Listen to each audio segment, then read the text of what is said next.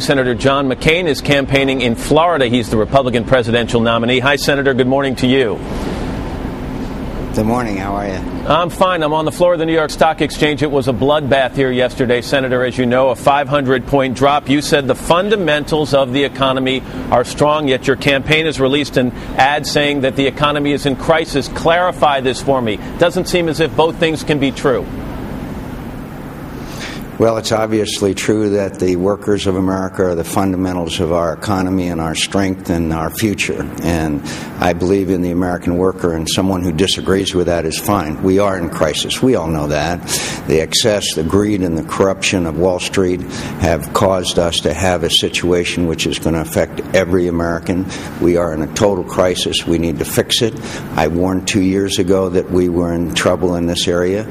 Fannie and Freddie are the classic example of the inside the Beltway old boy network that we're going to fix and change that I've fought against all the time that I've been in the Congress of the United States. Well, Americans this- this- are hurting. Our workers are the best. It sounds like a populist tone you're taking on here. Workers are great. Obviously, you want them to vote for you. It's all the problem of the fat cats. But fundamentally speaking, isn't there something wrong with the fundamentals right now that's causing these nightmares that we're seeing?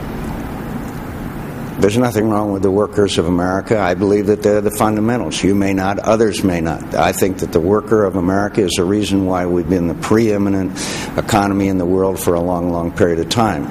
America is in crisis today because of greed, excess, and corruption, and people walking away with pay packages for failed enterprises and uh, inside the Beltway old boy network that led to uh, the kind of corruption that we've seen and the patchwork quilt, world the uh, alphabet soup of regulatory agencies, which has never been reformed. And we need a 9 11 commission, and we need a commission to figure out what went wrong and how to fix it. And I know we can do that, and I'll do it. And we've had enough. You've always been for less regulation. In fact, you told the Wall Street Journal back in March, quote, I'm always for mm-hmm. less regulation, mm-hmm. but I'm aware of the view that there's a need for government oversight, but I am fundamentally a deregulator.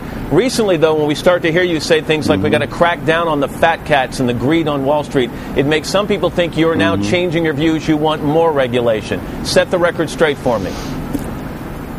Oh, absolutely. Of course, I don't like excessive and unnecessary regu- uh, government regulation. Ask any American citizen who is subject to bureaucracies. But the fact is, I warned about this problem a couple of years ago. I've, I am a Teddy Roosevelt Republican.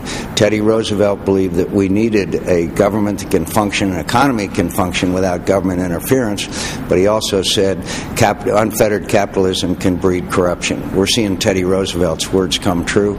I know how to fix it. I know how to fix uh, the corruption. I've been fighting it the whole time that I've been in Congress. I know how to do it, and I still believe in the American worker and the fundamental goodness and strength and innovation of the American worker. Let me just try and draw a distinction. As people size up this economy and size up you and Senator Obama, they're going to say, okay, we know that Senator Obama wants to raise taxes on the wealthiest Americans. He wants tighter regulation. He wants str- a stronger SEC. Do you want any of those things?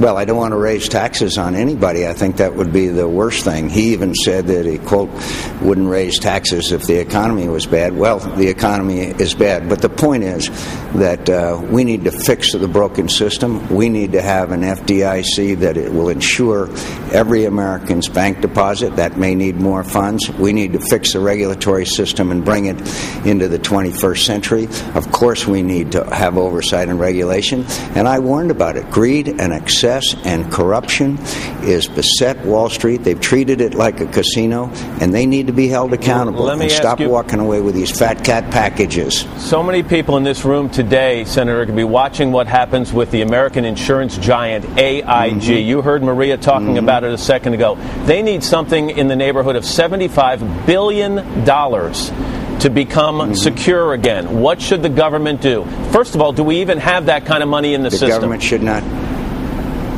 The government, uh, of course, this is one of the outstanding and glaring examples of the of the terrible problems and corruption and greed and excess that has caused all of this fallout, which is going to harm the average American worker. No, I do not believe that the American taxpayer should be on the hook for AIG, and I'm glad that the uh, Secretary Paulson has apparently taken the same line. So if we get to the point middle of the week, as we heard in that report, where AIG might have to file for bankruptcy, they're on their own.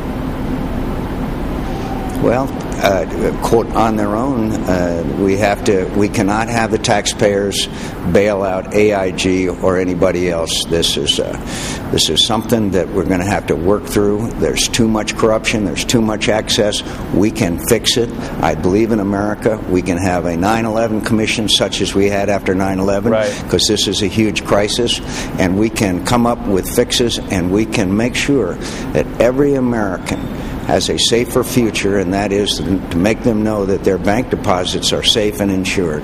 Senator John McCain campaigning in Florida. Senator, thanks for your time this morning.